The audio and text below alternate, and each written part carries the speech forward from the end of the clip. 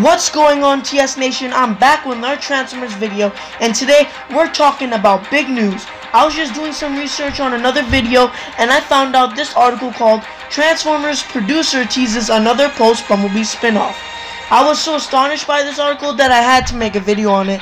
It states that we are most likely going to have a new sequel or another spinoff after the Bumblebee movie.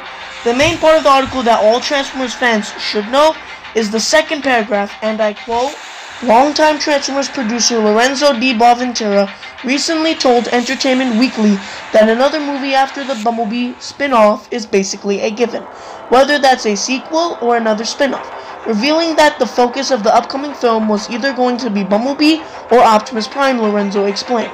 We've gotten a lot of feedback from the fans that they wanted us to do a deep dive on one or two of the robots because they wanted to get to know them better. So basically, this article confirms a new Transformer movie coming out stated by a longtime producer named Lorenzo Di Bonaventura. This article also confirms that the next Transformer film will either follow the events from the Bumblebee spin-off or another spin-off, most likely an Optimus Prime spin-off. Anyway, hope you guys enjoyed the video. Don't forget to leave a like and subscribe to join the TS Nation. Comment questions slash theories you want me to explain.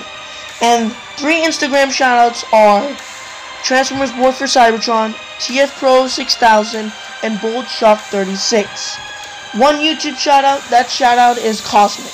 Anyway guys, hope you guys enjoy. That's the end of the video. Bye.